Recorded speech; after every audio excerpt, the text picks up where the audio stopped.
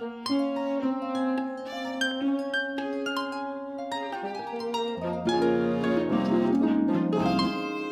do get interesting reactions. Uh, sometimes they're they're very fun. Like actually at Lake George, what was the? Do you remember the verbatim line that the person who heard Applebaum at Lake George said to the person who was running the festival?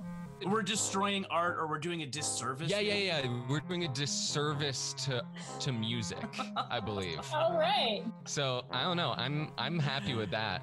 I think that's great.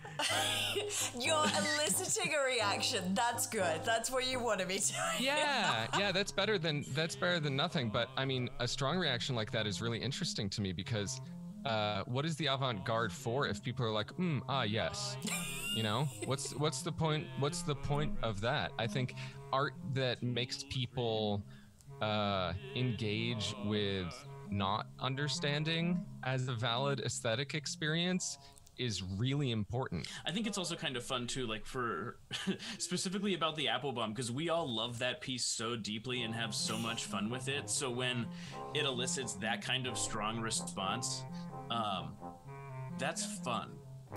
like it, it's not actually, um, it doesn't make me necessarily sad right like if if we got booed that would make me a little bit sad but having like one one one older gentleman go like rabble rabble rabble rabble rabble i think is great i think the more rabble rabbling we can make Oh gosh. is, is Definitely.